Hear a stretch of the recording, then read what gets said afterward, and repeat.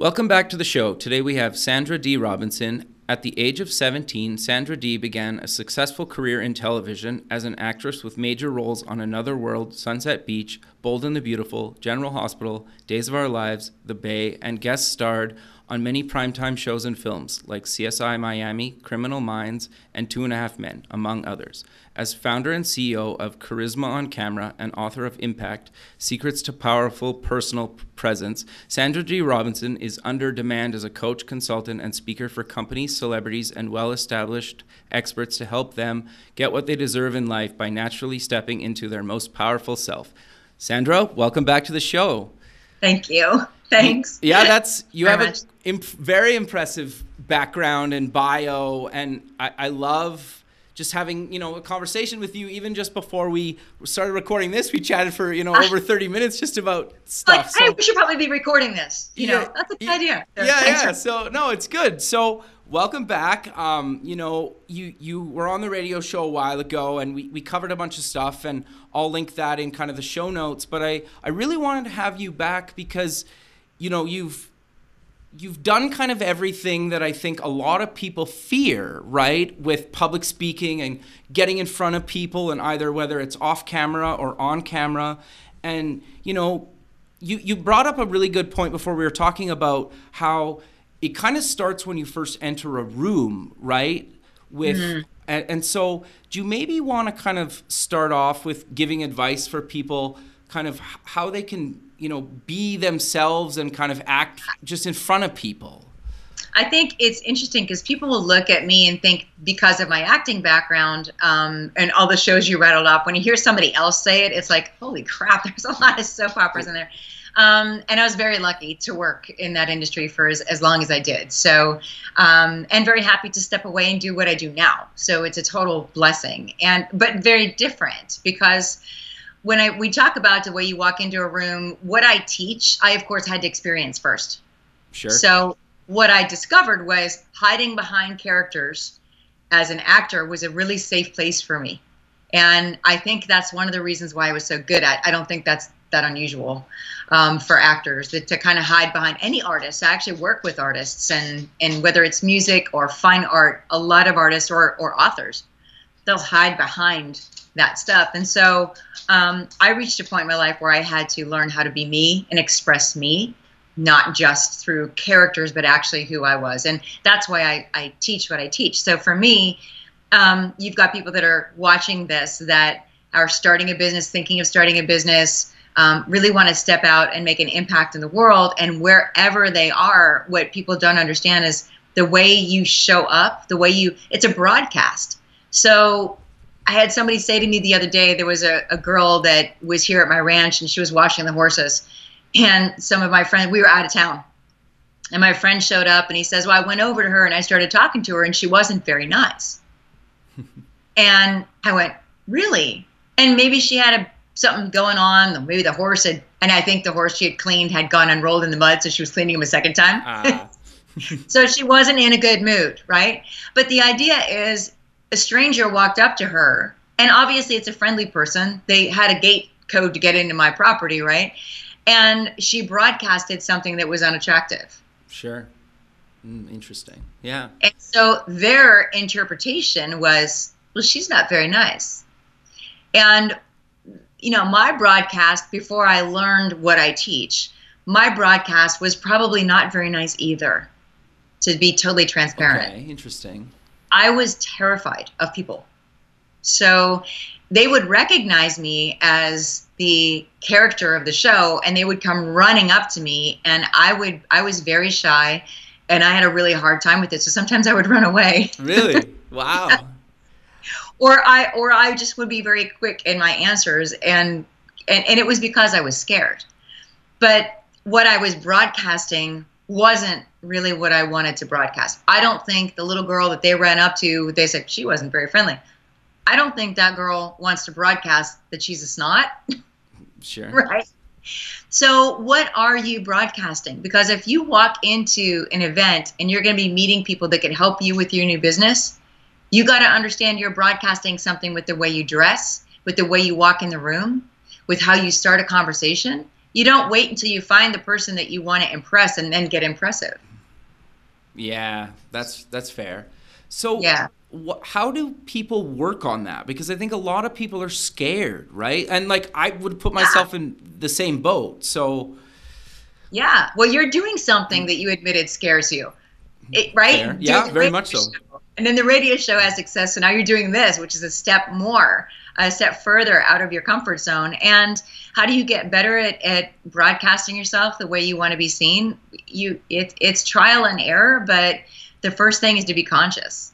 Be conscious of how you show up. And one of the toughest things that you can do is to find people that you know are going to be really honest with you and say, sure. give me three words to describe me and then hold on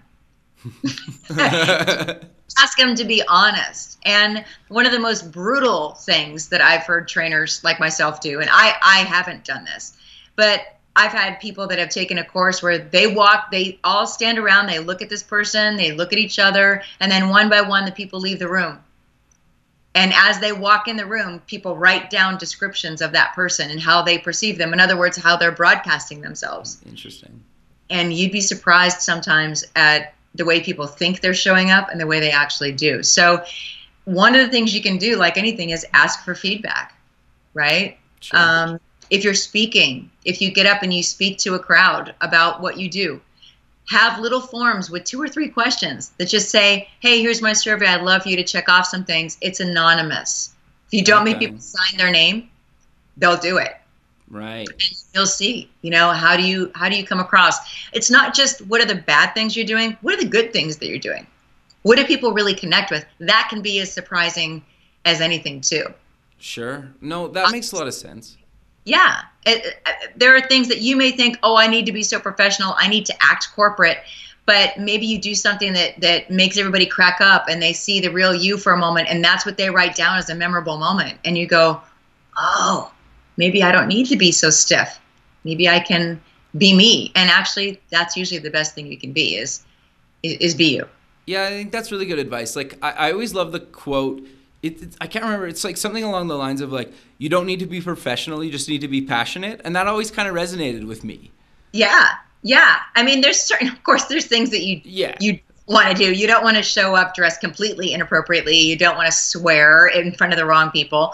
I mean, yeah, there's certain business etiquette that you you kind of need to be aware of, but for the most part, yeah, if you just show up and you're passionate and you're you're eager to learn from somebody or work with somebody and when that shows, yeah, that gosh, that gives you so much grace. It really does. I know that's what happened to me. I mean, I, I was just a country bumpkin from Western Pennsylvania, and I met some people that were influential enough to get me auditioning. and And if it wasn't for them, just knowing that I was passionate about what I was doing, I never would have got anywhere. That's amazing. Oh my gosh, I showed up in New York City, and if you've ever been to New York City, New Yorkers, uh, they're, you know, they're they're pretty they're pretty stern out in the street, and they wear a lot of black. and I mean, because it's you walk a lot, and it's it's it was kind of dirty. It's a city, so there's a lot of black. There's a lot of a somber look, and I show up from the country with my white granny boots, my white clothes, my white skirt, my hair all curled like this. And, and they just they're like, "What is that?" That's funny. uh, yeah, I was broadcasting a whole different channel when I showed up. Um, but it was the passion that gave gave him the grace, you know, or gave me the grace that uh, allowed me to have the opportunity. And there's plenty of people that that can attest to the same thing. And so you're very, very right with that. You're so right. But when it comes to actually getting into presentations about what you do, then you have to be a little bit more prepared you Sure. know and prepared can just be learning more about your audience what do they need how are you going to serve them with what you have and and then you show up ready to do that Okay, so what what advice would you give people to learn about their audience?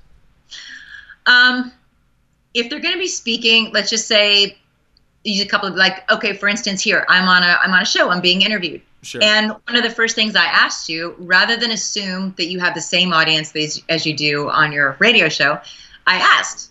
I asked the same question about who's your demographic, who is this show for? sure. Because it could be exactly the same.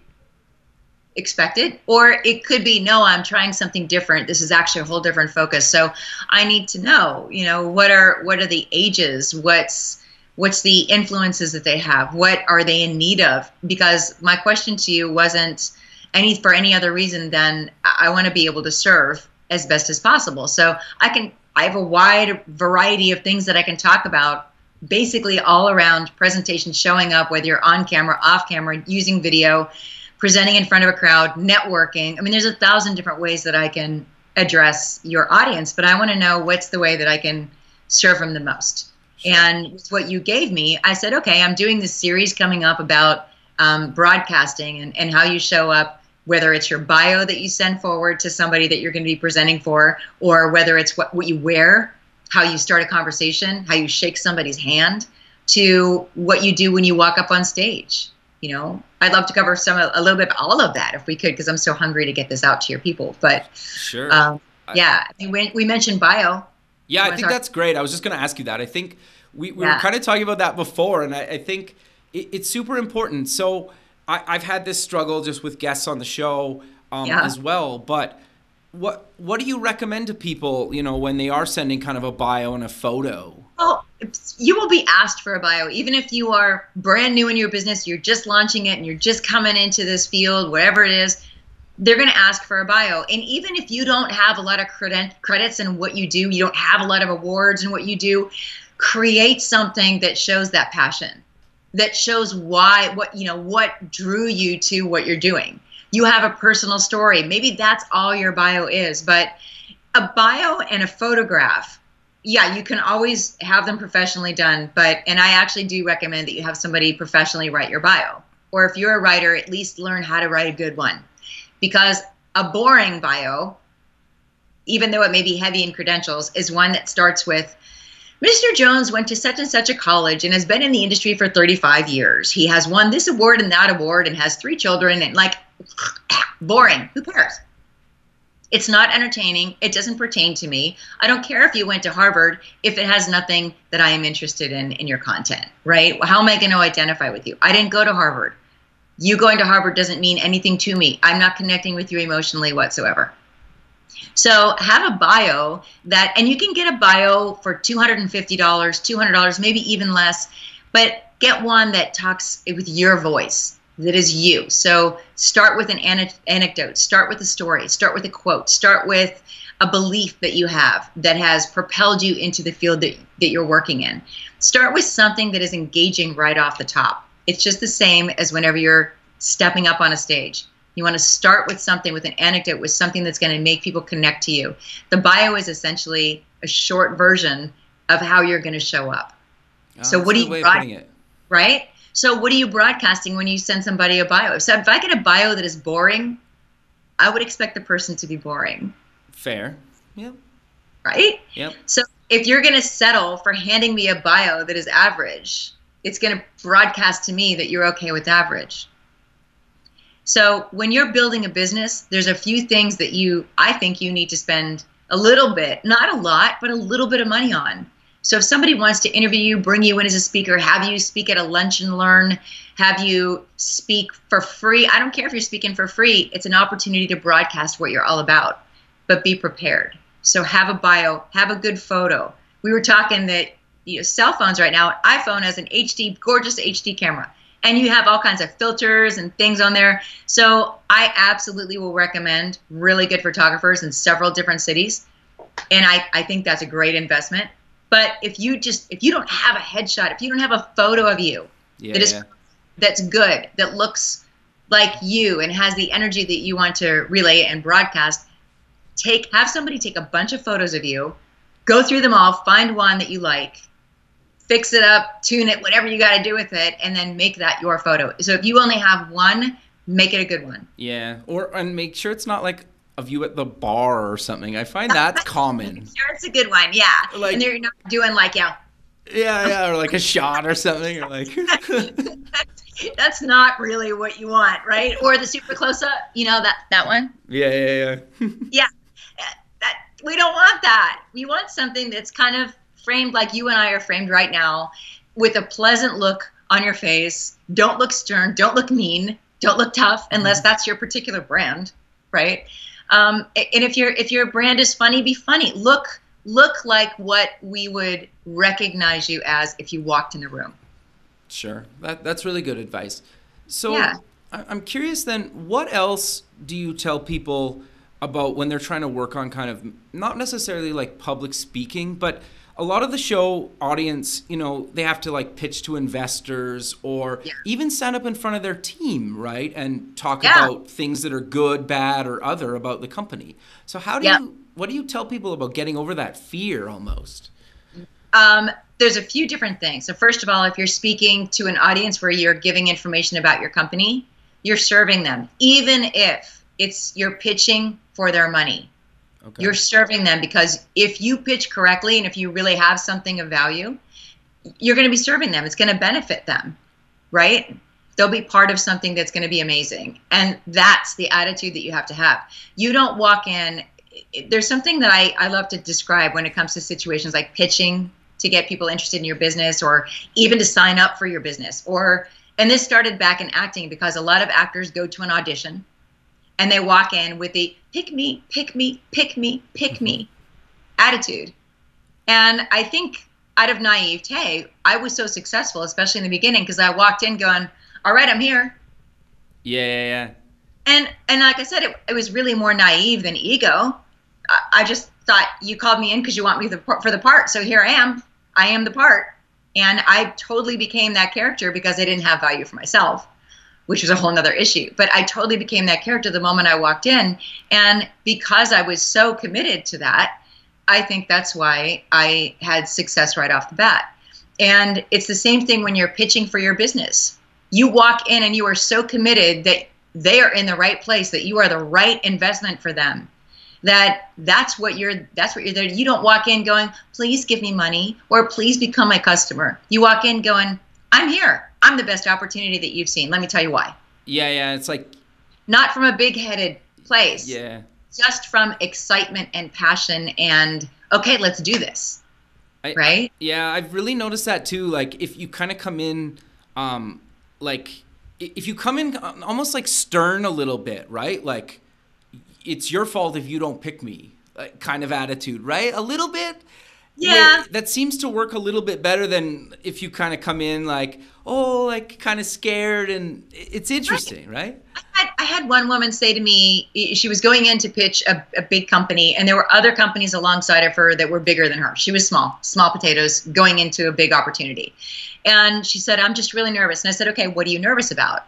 And if she said, as you would expect, well, the other companies are so big, and and I'm I'm, I'm I said, well, what are you going to say? She goes, well, I'm probably going to walk up and go, hey, I know that I'm the smallest company that you're talking to. I'm like, mm. no. And I, I hesitate to go, and then what are you going to say? And she says, well, um, I don't know. Because I, I, I think that's a bad thing. I'm like, okay, let's reframe that. Mm-hmm. and so, yeah, maybe you are the smallest company so you can still start. I gave her the same start. Like you can still start saying, "Hey," but you're going to walk in with assertiveness and you're going to, you know, shake that person's hand. You're going to say, "Hey, thank you for seeing me. I'm probably the smartest the smallest company you're going to talk to about this, but let me tell you why that's a good thing." Totally. You you ought to turn it into like a positive, right? Right.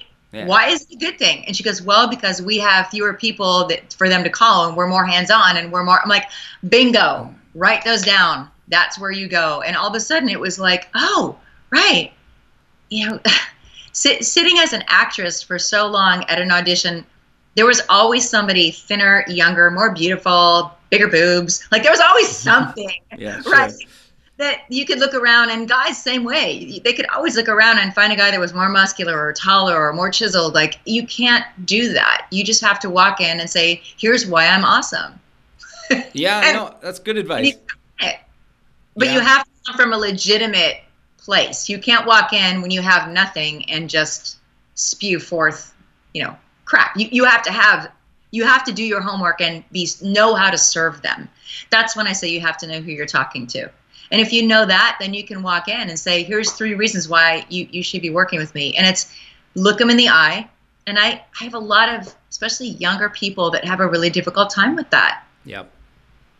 Eye contact is huge shake firmly handshake, one, two, three times, take your hand off. I mean, people that shake with a weak handshake or a bone crusher, that that handshake is actually a very intimate moment. Sure. And that tells somebody a lot about you. So handshake like you are confident, like you are their best buddy in the whole world and you're going to make them a ton of money. That's how you handshake. Sure. That's good advice. Yeah. And, mm-hmm. and, and so I'm curious then, like, obviously you, you kind of mentioned a little bit earlier about a lot of this is just like trial and error and practice, right? Like, the more you do it, yeah, yeah. And, and I think the thing is too, like, almost practice with people you're comfortable with. And yeah. at least the thing that I found is doing the show is I try to sometimes have people on the show that I almost find intimidating because it pushes me out of my comfort zone, if that makes sense. Absolutely. Yeah. I, I have people that come to me for interview training, you know, and they're doing shows like yours and they've got somebody that intimidates them and they're like, oh my gosh, I don't know what to say. Well, that person, even if they are the tops in your industry, they're they're a person. Yeah. I mean, they they may if you approach them with an absolute authentic curiosity so if you're interviewing somebody or even if you're you're going in to meet somebody that's could be a potential peg in your ladder just to where you want to go approach them like a human being not like a peg in a ladder to where you need to go because they'll smell that a mile away yeah and and be authentic about it if that person is more successful than you then look at them and go i wonder and what do you wonder? Do you wonder who inspired them? Do you wonder what their first job ever was like? Because they're successful now. Where, where did they actually start? What was the worst job they ever had? What was the best day they ever had? What was the worst day they ever had? I mean, what is it that you most want to know for real? And ask them. And if it's not a question that they've heard before, if it's something that's legitimate, legitimate curiosity on your part, and has them talking about who they really are, that's one of the things that we were saying that a good interviewer can make connections with people that it's not just oh i have so and so's number but so and so will actually pick up the phone when you call them that's that's making a connection and that's how you do it so whether you're interviewing like you're doing or going into an interview or meeting somebody that can help you in your business it's it's really about building that rapport and building that relationship Sure. No, no, that's great, and I think that's that's really good advice. But we're kind of coming to the end of the show, so maybe let's close the show with where people can find you online and get more information yeah. about you. Yeah, yeah. There's um, there's two places. Most people will go to charismaoncamera.com. Okay. Um, and there's if you want to get on camera or speaking, that's probably the best place that you can go. There's a lot of there's free training on there. You can sign up, get free training. In fact, I send out one minute weekly tips every single week they're just one minute, so not a big not a big commitment. Everybody's got a minute.